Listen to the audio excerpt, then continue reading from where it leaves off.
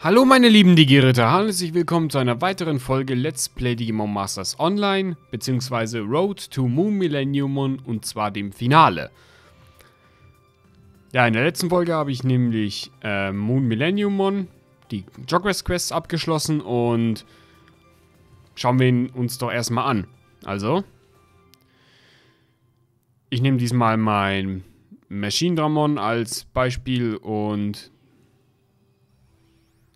dann entwickeln wir es, also digitieren wir es und so sieht Moon Millennium Mon hier im Spiel aus. Einfach wie so eine Art Drachengeist, der in einem Kristall eingeschlossen ist. Nicht schlecht, was haben wir hier? Seine F1 ist Death Crystal mit 4531 und Dimension Destroyer mit 11.544 und das ist alles noch ungeklont. Also ich weiß gar nicht, wie seine Attribute und so aussehen würden, also wie seine Fähigkeiten aussehen würden, sobald ich ihn äh, klone. Aber möchte ihn mir jetzt trotzdem mal anschauen und testen wir ihn doch mal beim Infinite Mountain aus. Gegen eins der stärkeren, also gegen eins der Digimon hier. Gegen eins der stärkeren ist jetzt Blödsinn zu sagen. Aber wir schauen uns das auf jeden Fall mal an. So, schauen wir erstmal Death Crystal. Oh, mir gefällt die Animation.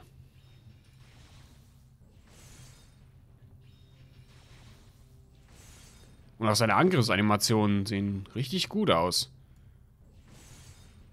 Also einmal schlägt er zu, ne, tut dann diese Kristalle aus dem Boden schlagen, die dann den Gegner durchdringen. Oder er beschwört diese Kristalle hinter sich und äh, tu dann Strahlen aus denen abfeuern. Gefällt mir. Death Crystal haben wir gerade schon gesehen. Er schafft einfach einen Kristall in den Gegner und lässt diesen dann auseinander zerspringen. Und die F2 haben wir uns noch nicht angeschaut. Dimension Destroyer.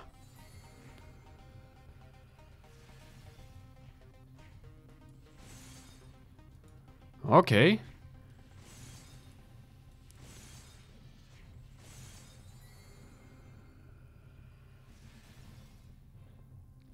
Er schafft diese Wand und in dieser Wand lässt er dann einfach eine Explosion auftauchen. Also da finde ich die F1 deutlich besser. So. Ah, da sieht man, hat man jetzt auch schön so eine Galaxie beziehungsweise wahrscheinlich hier die Dimension gesehen. Hier in der Mitte. Da. Mit Galaxien und so.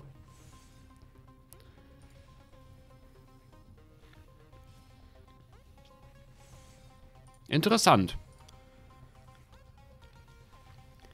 Aber da würde mich auf jeden Fall interessieren, wie das Ding denn, also wie die Werte denn dann aussehen, wenn man den ein bisschen klonen würde.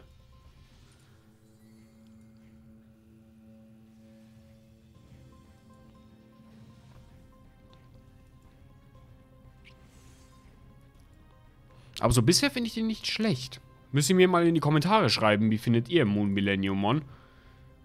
Mir gefällt zwar im Allgemeinen das System dahinter nicht, also mit den, weil die Base-Digimon sind ja dieselben wie zum Beispiel bei äh, beim normalen Millennium Mon, dass man da nicht einfach hätte zwei Jogres machen müssen, also für dieselben Digimon, dass man nicht Unterschied, dass man nicht äh, dieselben Digimon mehrmals haben muss, um die anderen Jogres zu haben.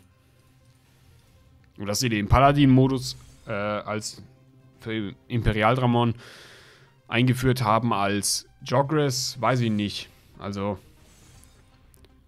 ich hätte es besser gefunden, wenn die den dann einfach als zusätzlichen Jogress äh, für die existierende Line angeboten hätten oder den Burst-Modus komplett rausgenommen hätten und dafür dann den Jogress-Modus. Das hätte ich besser gefunden. Weil die, äh, weil bei denen, bei der Vimon-Line kann, können ja, glaube ich, keine Amortigitationen vollführt werden. Aber es ist wieder mal ein System, also ähm, Prinzip von Game King, dass sie ja irgendwie Geld verdienen wollen mit Sachen, die die einführen.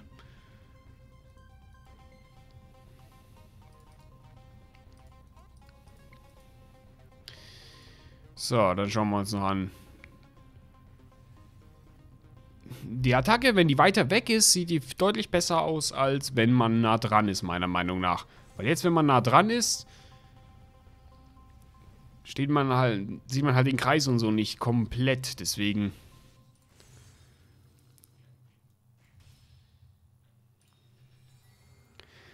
Aber wie bei allen anderen Jogress-Digimon kann man hier keine Skill Points mehr verteilen. Sondern kann das halt nur noch durchs Klonen verbessern. Aber 11.000 ist meiner Meinung nach jetzt nicht ein schlechter Wert.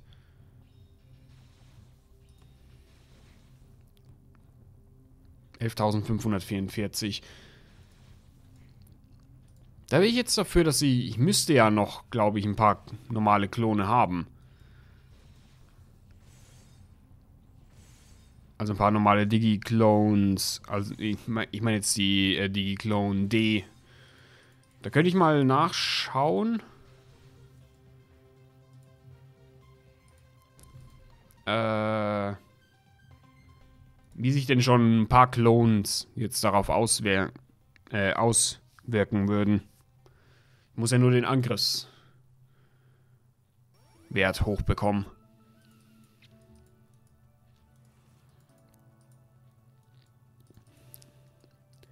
Das Halloween-Event ist ja immer noch voll im Gange und ich habe alle möglichen anderen Buchstaben, nur mir fehlt halt das N. Das H habe ich 25 mal, A 5 mal, L 11 mal, O 13 Mal, W 36 Mal und das E 8 Mal. Mir fehlt halt nur das N. Einmal habe ich das N schon gehabt, deswegen habe ich eine von diesen Combination Boxes schon bekommen, aber ich würde gerne noch ein paar Ns sammeln, gesammelt bekommen, äh, bevor äh, das Event zu Ende ist. Aber damit ich diese noch stärkere Box bekomme. So. Ne, ich habe leider nur die Klon C reinforced. Ah, das ist blöd. Äh, ich kann mal gucken, ob im Channel 1 jemand ist, der mir da vielleicht einen reinforceden Digiklon D kaufen können, äh, verkaufen könnte. Reinforced B hat hier jemand. Brauche ich aber nicht. Ich brauch, bräuchte Reinforced D. Hier. Ah, aber ein Terra kostet das. Und ich habe nur 1,3. Naja, was macht man nicht alles fürs Video? Ich bin halt keiner, der in diesem Spiel extra hingeht und Geld farmt. Deswegen bin ich immer sehr, sehr knapp bei Kasse hier drin.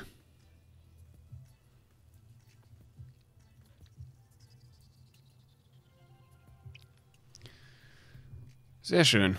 Da können wir zumindest schauen, was denn überhaupt ein Digiklon jetzt schon gebracht hat.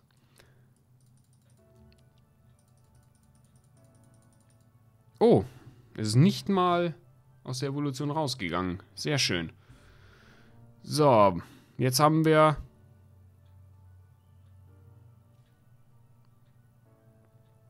immer noch 11.544. Hä? Eigentlich müsste der Wert doch hochgegangen sein. Also es zeigt hier trotzdem noch 0 an. Hey, das verstehe ich jetzt nicht. Das verstehe ich jetzt absolut nicht. Na, ich bin aber aktuell dabei, so als äh, kleines Projekt nebenbei bin ich aktuell noch dabei, meine äh, restlichen Spirits, die ich habe, hochzuleveln und die dann in Shining Spirits umzuwandeln und die dann zu verkaufen. Aber damit ich mal wieder ein bisschen Ingame-Geld bekomme. Weil ich meine, ansonsten sind ja nur bei mir...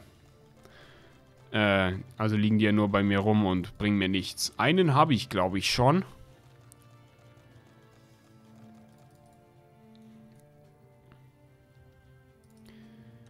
Einen Shining Spirit müsste ich haben. Ja, Spirit, Spirit of Shining Thunder B habe ich noch. Den habe ich auf jeden Fall noch. Also was heißt noch? Den habe ich schon. Ich weiß aber auch nicht, wie die aktuellen Preise denn sind für Shining Spirits.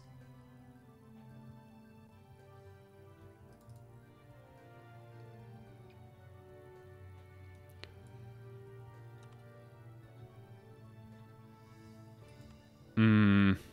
Aber ich sehe hier jetzt auch gerade keinen, bei dem ich das nachgucken könnte.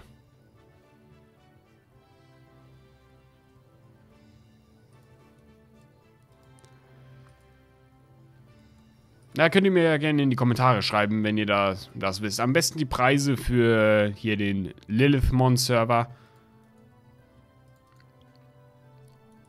Wäre auf jeden Fall super.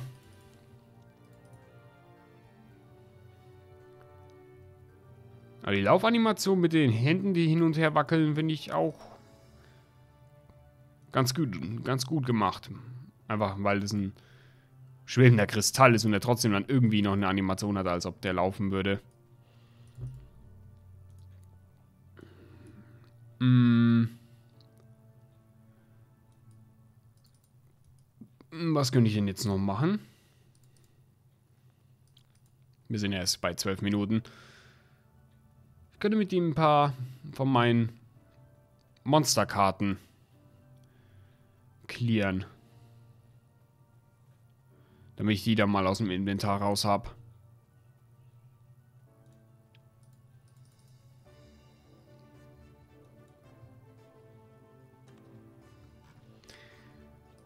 Alter, der Channel 1 ruckelt ja wie Sau. Na, ist ja klar, der ist ja so voll.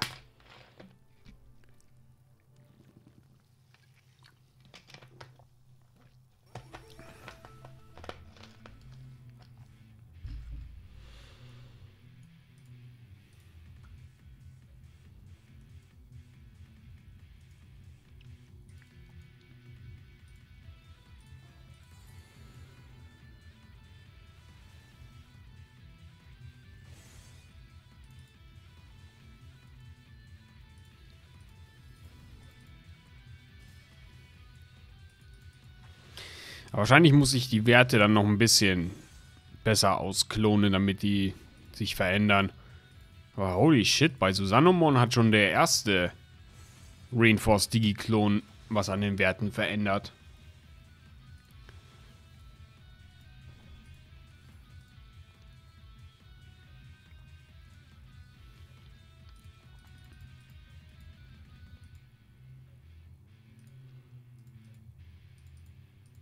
Hallo? Naja, der, aber immerhin, der Skill hat ein bisschen Wert. Also Reichweite meine ich.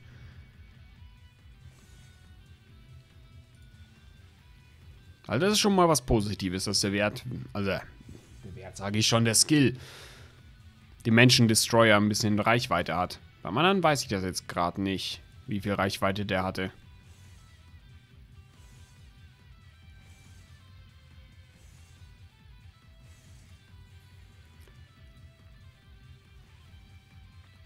Aber diese Angriffsanimationen gefallen mir.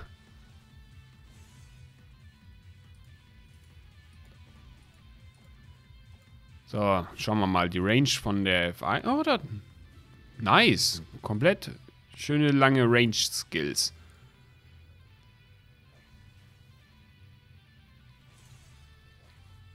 Also Moon Millennium Mon gefällt mir jetzt schon mal ganz gut.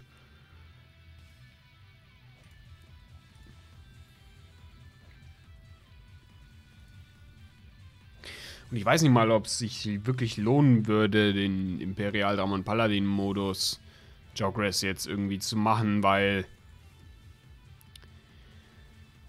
Die Frage, die sich für mich stellt, ist er von den, äh, na, von den Werten her wird er wohl anders sein, weil er ein Jogress ist. Aber ich meine jetzt eher, äh, von den Skills. Ist, sind die Skills andere oder sind das dieselben, die auch beim Burst-Modus dabei sind? Das wäre jetzt so die Frage noch.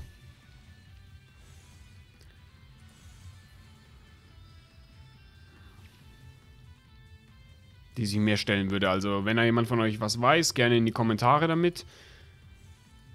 Weil aktuell bin ich mir nicht sicher, ob es sich für mich jetzt irgendwie lohnen würde.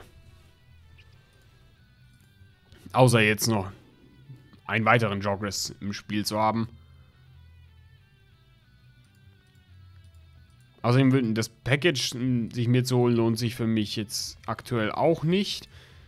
Da ich noch Growth Fruits vom dem einen Event habe vom ein paar Wochen. Und deswegen kann ich mir da auch die ganz normalen Eier holen. Was günstiger ist. Plus dann noch das äh, Evolutions-Slot-Item. Oder ist ein Package günstiger im Moment?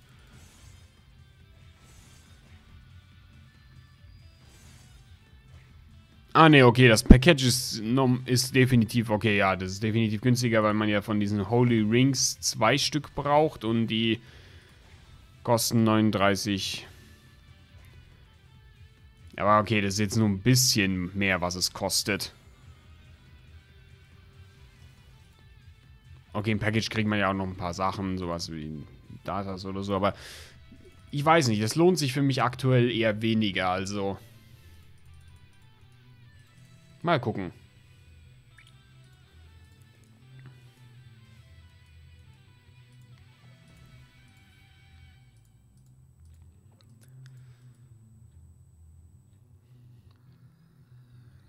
Also die Karten cleared ist ähm, okay, meiner Meinung nach. Also mir gefällt das Design auf jeden Fall. Mir, gefällt, mir gefallen die Animationen von den Angriffen und auch von den Auto-Attacks. Richtig nice. Schreibt mal dazu, was euch dazu einfällt in die Kommentare, ob es euch gefällt, das Digimon, oder was euch daran nicht gefällt. Vielleicht, ja, bis auf jetzt das, was ich schon genannt habe, ähm, dass man eben diese zwei weiteren Digimon dafür braucht und es nicht Teil des normalen äh, Millennium Mons ist. Also den normalen Millennium Moonline, dass man einfach ein zweites Joggers hinzufügen würde. Aber wie gesagt, das in die Kommentare auf jeden Fall. Lasst auf jeden Fall einen Daumen nach oben da, wenn es euch gefallen hat. Und ich würde sagen, dann sehen wir uns dann beim nächsten Mal wieder. Haut rein. Ciao, ciao.